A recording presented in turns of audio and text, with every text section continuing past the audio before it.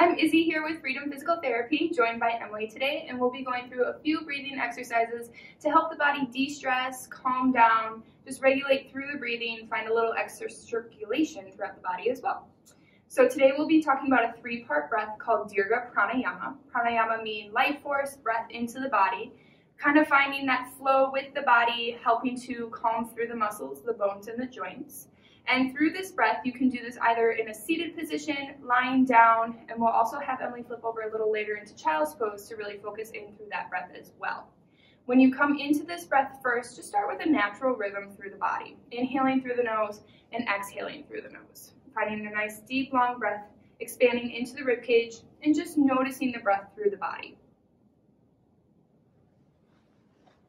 As you start to come through this natural rhythm, gently start to breathe a little further into the lower belly, letting that chest, letting the belly expand a little further up towards the ceiling, contracting through the diaphragm, and then starting to breathe a little closer into the chest, letting the ribcage expand, breathing into the base of the lungs.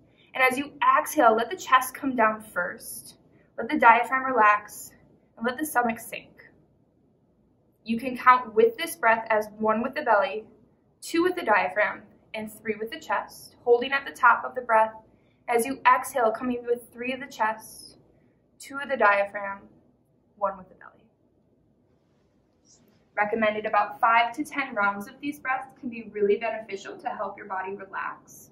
And then Emily, if you wanna flip over for me into child's pose, I'll have you roll over onto your stomach. Let the knees come nice and wide, big toes come to touch, Pressing the heels back towards the hips, good. Extending the arms nice and long towards the top, good. Oftentimes it can be difficult to breathe into the belly for some individuals, so taking a child's pose can be really beneficial to find sensation into that belly breath. Focusing on the expansion of the belly towards the tops of the thighs, breathing into the back side of the body, separating through the shoulder blades, and relaxing all the way to the tops of the shoulders, drawing them away from the ears. Taking a nice few deep breaths here, finding the expansion of the side body and the contraction as you exhale.